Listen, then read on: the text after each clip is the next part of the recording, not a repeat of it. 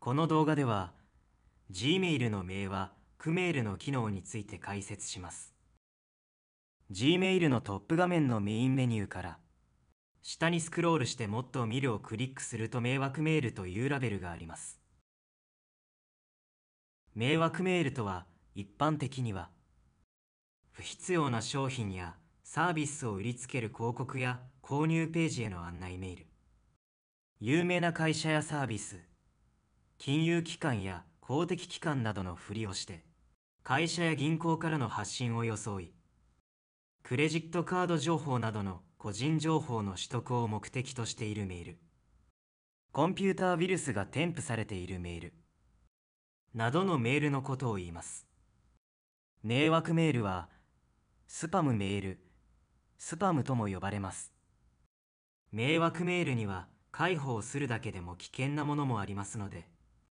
いかに安全に迷惑メールを完全に削除するか仕分けるかというのがとても重要になります。Gmail はメールの本文の内容や添付されているファイルの種類から受信したメールが迷惑メールである可能性が高いものに対して自動で迷惑メールのラベルをつけてくれます。迷惑メールラベルが付けられたメールは受信トレイでは表示されません。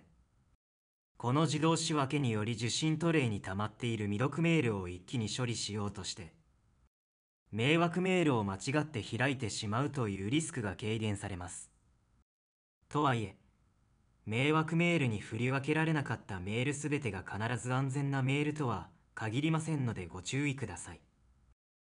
これは迷惑メールではない。と自分では思っているけども Gmail によって迷惑メールに振り分けられてしまうこともあります。自分のメールアドレスを指定してどこかのウェブサービスに会員登録をし登録完了後のメールが届かないという場合には迷惑メールラベルに振り分けられていないかを確認するようにしましょう。メインメニューから迷惑メールラベルをクリックして迷惑メールを確認してみましょう。Gmail を作成したばかりの方や Gmail のメールアドレスからたくさんの人とやり取りをしたりたくさんのウェブサービスに登録したりしていない方はこの迷惑メールのラベルには何も表示されていないかもしれません。迷惑メールにメールが振り分けられていない場合は自分の受信トレイのメールの詳細画面から迷惑メールに仕分けるかこの動画の画面を参考にしてください。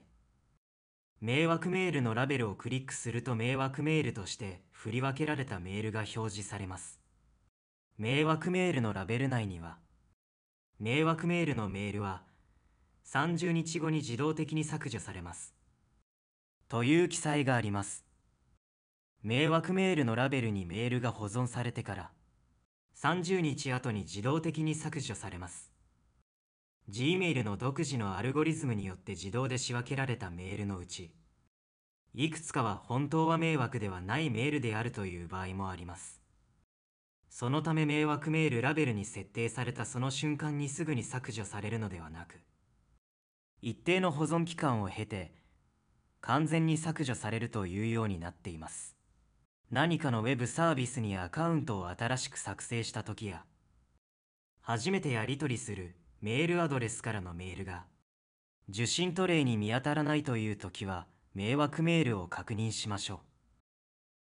う。迷惑メールとして振り分ける Google の独自のフィルタは詳細な条件については Google の公式としては公開されておらずまた Gmail の使用者がそれぞれ独自の設定に変更することもできません。そのため意図しないメールが迷惑メールに振り分けられてしまうことはどうしても起こります。迷惑メールのラベルが誤って付けられたメールは迷惑メールではなく受信トレイのラベルに付け替え受信トレイに表示するように設定できます。迷惑メールに入っているメールをクリックして詳細を表示すると、メール本文に警告が表示されます。警告には様々な種類があります。使用している Gmail で以前に迷惑メールに振り分けたメールと似たような内容のメール。偽装メールの疑いがあるメール。危険なサイトへのリンクが含まれるメール。悪意ある不正なプログラムが仕込まれている可能性のある添付ファイルがあるメール。などがあります。どの迷惑メールに対しても迷惑メールの詳細画面内にある迷惑メールではないことを報告をクリックすると迷惑メールのラベルを外し受信トレイに表示します。本当に迷惑メールではなく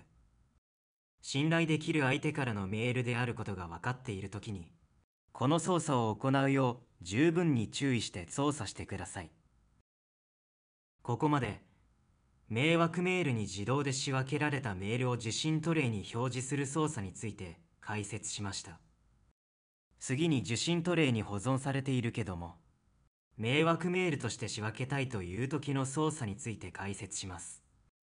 受信トレイのメール一覧画面から迷惑メールに振り分けたいメールにチェックをつけて